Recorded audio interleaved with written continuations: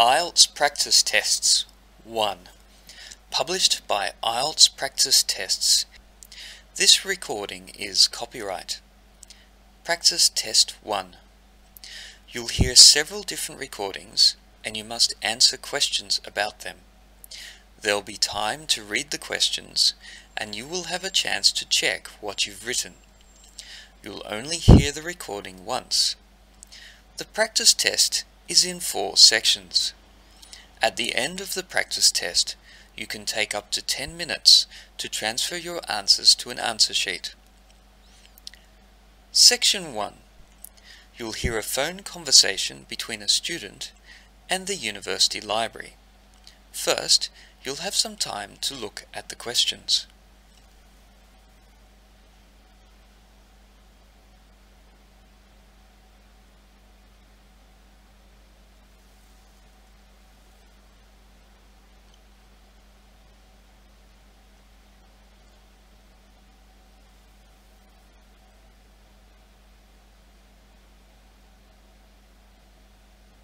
Let's start. You should write your answers to the questions as you're listening, as you will not hear the recording a second time. Listen carefully and answer the questions. Good morning, University Library. Craig Wilson speaking. How can I help you? Oh, hi. I've just started my degree in computer science and I wonder if you could help me. Would you tell me, please, how can I join the library? Well, you need your student card, you know, your university ID card, and we also ask for two passport-sized photos. There is also a small fee. It costs £2.80. Right. And how long does it take to get my library card? I'd say it is usually ready in about two weeks. You can come to the counter and ask us for your card. I see. Can I borrow any books while my card is being processed? Yes, you can. After you complete the form, you can have a provisional card. It is valid for a month. You can use this number to collect some library books. Great! And how many books can I borrow at once? Well, you may borrow up to eight books at a time. Please note that the books should not be labelled for reference only. These include academic journals, dictionaries, encyclopedias, and atlases. You are not allowed to take them out at any time. What if the book I need is not available? Well, if there is no book on the shelf, you can make a request online. There are computers on all library floors. You can use them to search our database. After you find the book in the library catalogue, you can click on the book title and enter the barcode number from your library card. As soon as the item is returned to the library, we will contact you. Okay. Will you ring my mobile? Yes, if you leave your mobile number when you complete the registration form. Otherwise, we can send you an email via your university email address. I see. What times are you open? We are open from 9am to 5pm Monday to Friday, term time only. On Saturdays, we open at 9am and close at 2pm. Right, I am going there now. Thanks a lot. Cheers. Thank you. Goodbye. That's the end of section 1. You now have 30 seconds to check your answers.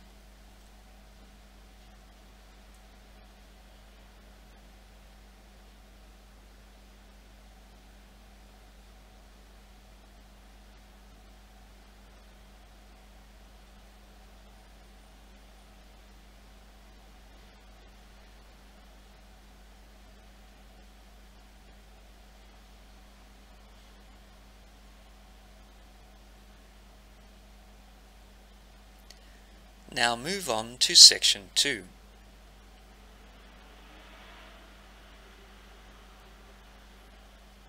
Section 2. You will hear a representative of a tour group touring a popular tourist area. First, you will have some time to have a look at the questions.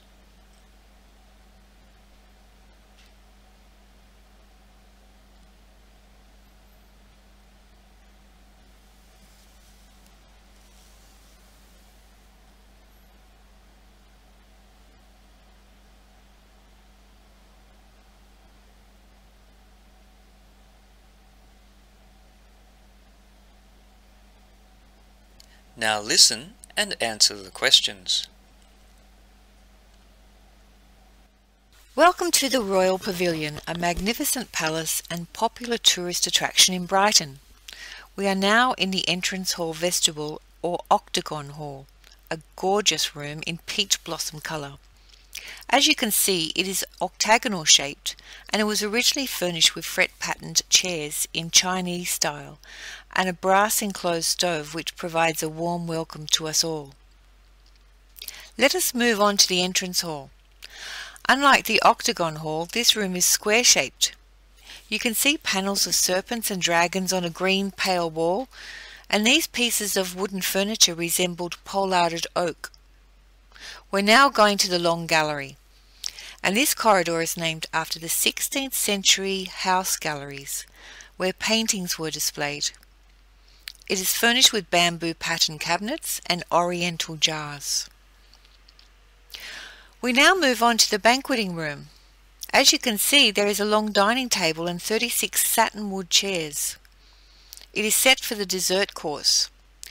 In 1816-17, the menu was comprised of 60 dishes which had been carefully prepared by the French chef Marie-Antoine Carême to the Prince Regent and his guests.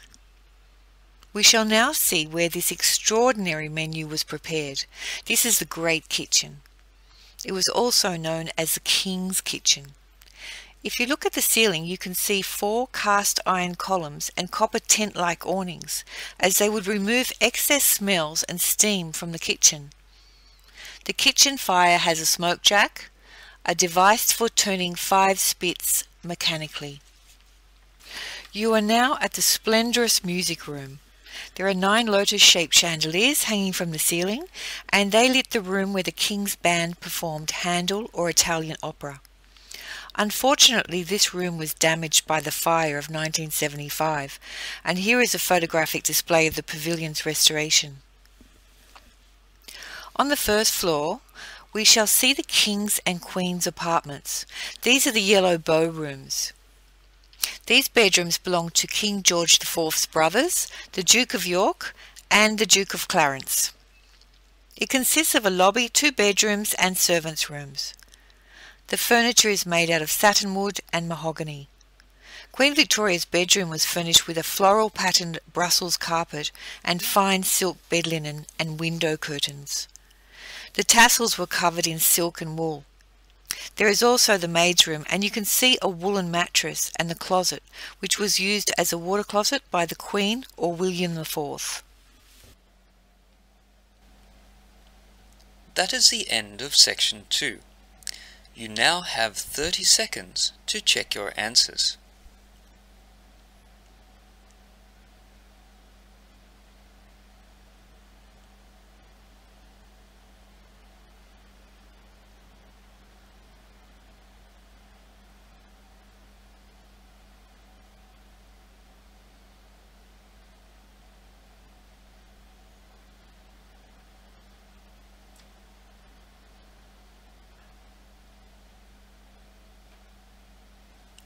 Now move on to section 3.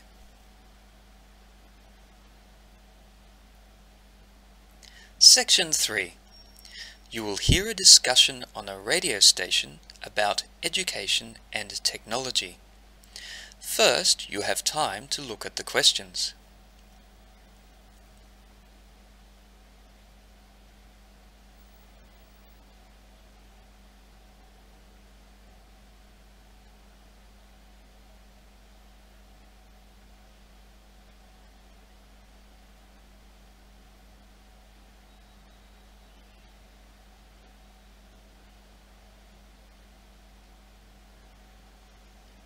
Now listen carefully and answer the questions.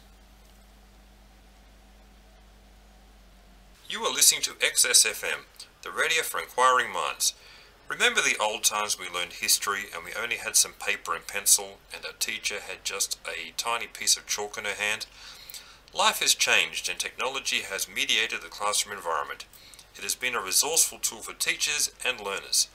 I'm Charles Wilson and today we are discussing the impact of technology in the classroom. With us in the studio today we have Professor Paula Jackson who works in the Department of Education at the University of Oxford. Good evening, Professor Jackson. Good evening. And we also welcome Professor Joseph Lewis, who teaches computer literacy and educational outcome at the University of Birmingham. Good evening, Professor Lewis. Good evening. Well, a lot has been said about the importance of revolutionary tools for education. Students can find information and are more interested in their studies.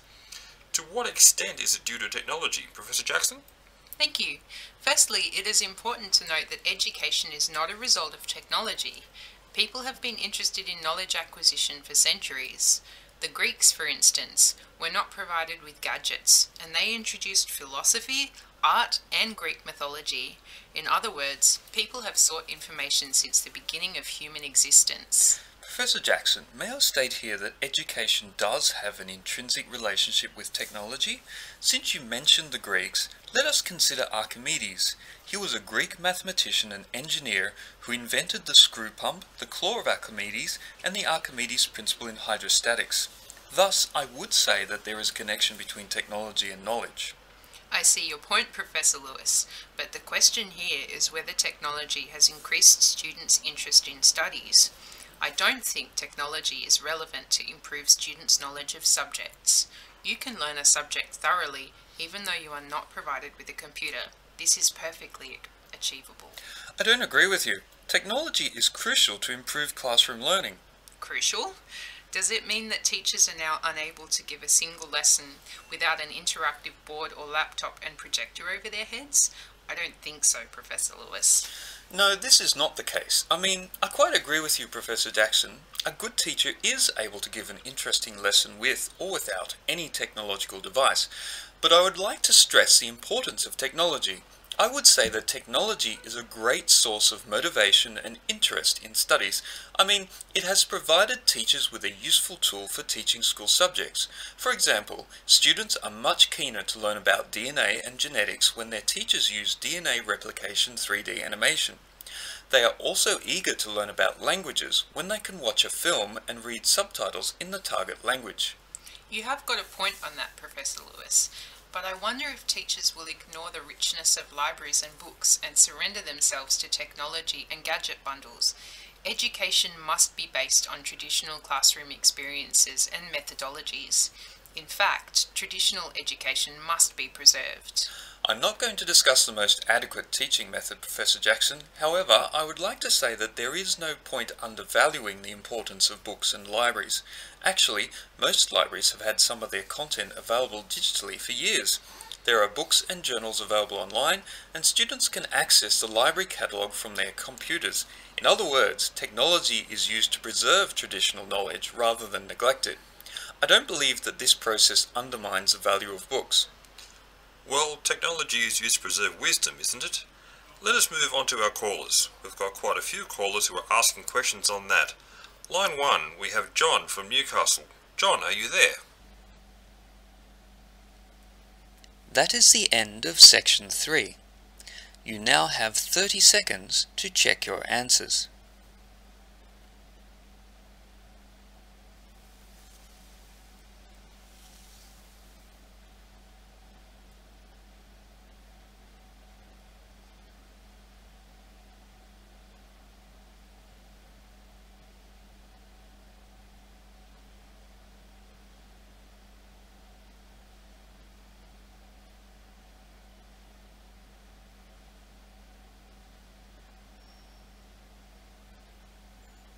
Now turn to section 4.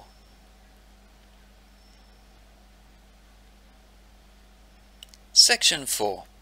You will hear part of a lecture about post-operative pain management. First, you have some time to look at the questions.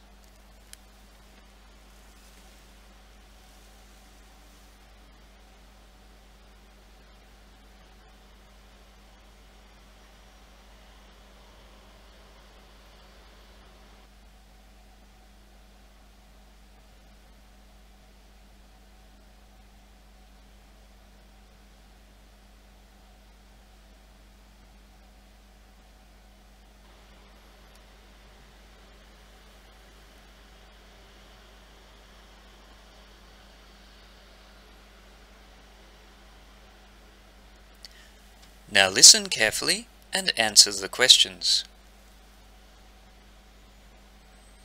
In today's lecture, I'd like to look at post-operative pain and how we can manage it. Firstly, I'd like to introduce the types of pain patients experience after their surgery. The first one is cutaneous pain. Let us consider the surgical incision. Once the skin is incised, cutaneous nociceptors or free nerve endings are activated by the injury and release an acute, fast pain felt in the injury site. This is localized pain. The impulses are transmitted via afferent nerves to the central nervous system, CNS, and via peripheral nerves to the spinal cord. In the spinal cord, the impulses connect with type C fibers, which, in turn, detect visceral pain. Since visceral nociceptors are in a range of organs, slow pain is felt in other parts of the body. This is why patients often complain about pain affecting different parts of their bodies. Moreover, pain synapses occur in the dorsal horn. As you can see, type A delta and type C fibers synapse with dendrites. This is due to the fact that the nerve extensions receive signals from other nerve cells. When this occurs, the pain travels up the spinal cord as neurons or nerve impulses until they reach the midbrain. The nerve impulses are then processed and transmitted to the body as a pain signal. Therefore, medication and painkillers should be administered according to the type and severity of pain.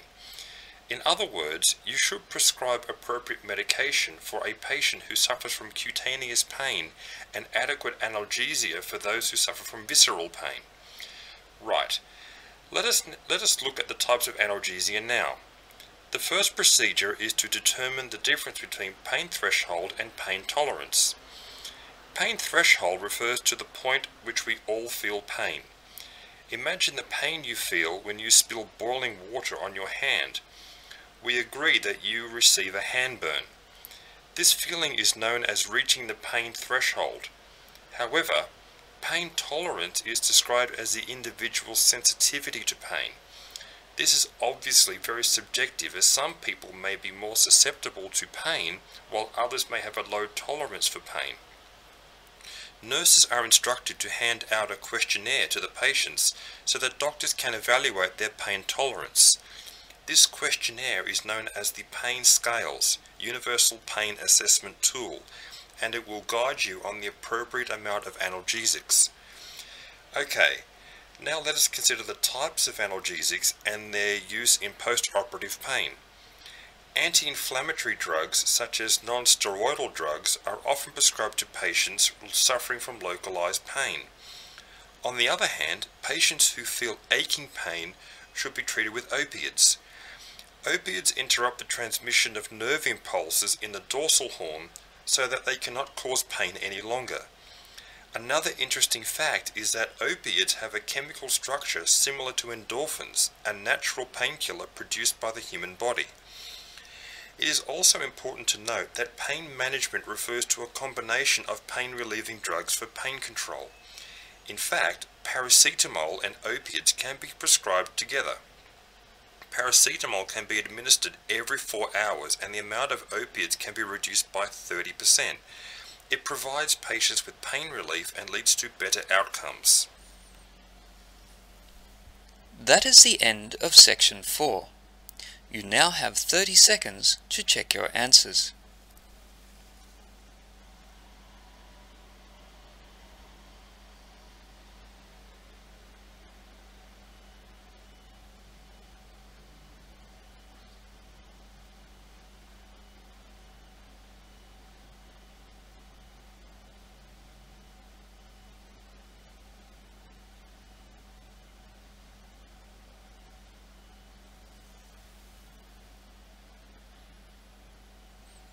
That is the end of the practice listening test.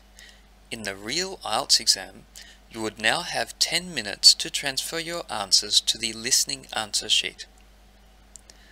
Thank you for listening.